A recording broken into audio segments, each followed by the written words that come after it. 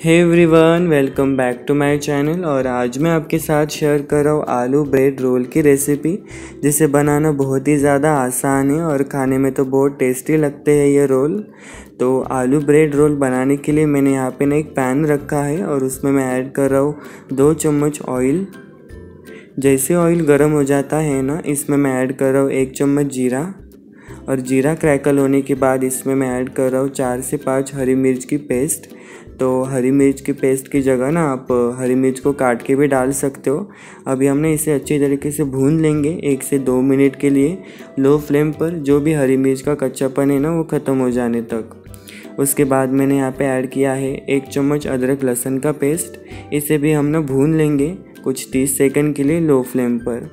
उसके बाद मैंने यहाँ पे ऐड की है एक चौथाई चम्मच हल्दी पाउडर और आधा चम्मच नमक। तो नमक आप अपने स्वाद के अनुसार भी डाल सकते हो। अच्छी तरीके से मिक्स कर देंगे हम एक बार इसे। उसके बाद मैंने यहाँ पे लिए है कुछ एक चौथाई कप हरे मटर, जिसे मैंने ना बॉईल कर लिया था। आप चाहो तो ना यहाँ पे फ्रोज़न मटर का भी इस्तेमाल कर सकते हो। और दो आलू को ना मैंने बॉईल करके मैश कर लिया था। वो भी हम इसमें ऐड कर देंगे। इसके ऊपर से ना मैं फ्रेश कटा हुआ हरा धनिया ऐड कर रहा हूँ। अभी हम ना इसे तीन से चार मिनट अच्छी तरीके से मिक्स कर देंगे मीडियम फ्लेम पर।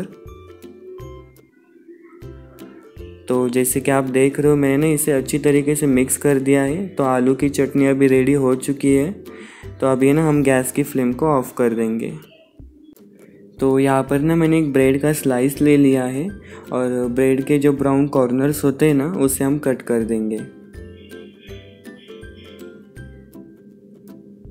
तो यहाँ पर ना मैंने ब्रेड के कॉर्नर्स को कट कर दिया है। तो दूसरी तरफ़ हम क्या करेंगे, एक प्लेट में पानी ले लेंगे और जो ब्रेड है ना उसको पानी में डुबाएँगे अल्टी पल्टी करके और तुरंत निकाल देंगे। ज़्यादा देर तक हमें इसे ना पानी में नहीं रखना है ब्रेड के स्लाइस को। अल्टी पल्टी करना है और तुरंत निकाल देना है और अच्छी तरीके से प्रेस कर देना है। जो भी ब्रेड में पानी होगा ना, वो अच्छी तरीके से रिमूव होना चाहिए। और ज़्यादा ज़ोर से भी प्रेस मत कीजिएगा, नहीं तो ब्रेड टूट सकता है। तो अच्छी तरीके से प्रेस करने के बाद ना, हम इसमें ना एक चम्मच के करीब ना आलू की चटनी रख देंगे और अच्छी तरीके से इसे क्लोज़ कर देंगे चारों साइड से। तो अच्छी तरीके से ना आपको इसे क्लोज़ कर देना है। और हाथों से ना इसे एक शेफ दे देना है। तो जैसे कि आप देख रहे हो तो यहाँ पर ना मैंने सारे आलू ब्रेड के रोल को तैयार कर लिया है। तो दूसरी तरफ़ ना मैंने मीडियम फ्लेम पर ऑयल को गर्म होने के लिए रख दिया था।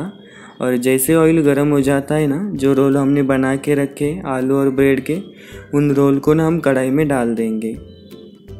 तो यहाँ पर मैंने कुछ छः सात रोल को डाल दिया है कढ़ाई में। अभी हम इसे फ्राई कर लेंगे अच्छी तरीके से, मीडियम फ्लेम पर। हमें इसे ना लो फ्लेम पे या हाई फ्लेम पे फ्राई नहीं करना है। मीडियम फ्लेम पे फ्राई कर लेना है अच्छी तरीके से, गोल्डन ब्राउन होने तक।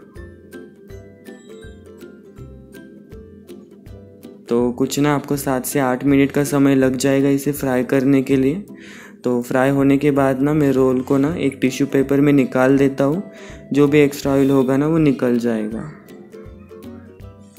तो आलू ब्रेड रोल की रेसिपी तैयार है। आपको कैसी लगी है रेसिपी मुझे कमेंट करके ज़रूर बताइए। अभी मैं आपको नहीं इसे तोड़ के दिखाता हूँ, इसके अंदर का लुक दिखने में बहुत ज़्यादा टेम्पटिंग दिखते हैं ये रोल और खाने में तो बहुत ज़्यादा यमी लगते हैं। इस रमज़ान में ना आप इस रोल को ज़रूर ट्राई कीजिए इफ़ारी के लिए। आपको और आपकी फैमिली को बहुत ज़्यादा पसंद आएँगे ये रोल। और वीडियो अगर अच्छा लगा हो तो मेरे वीडियो को लाइक करो, शेयर करो, कमेंट करो और सब्सक्राइब करो मेरे चैनल को।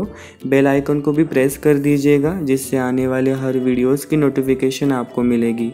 तो मिलते हैं अगले वीडियो के साथ।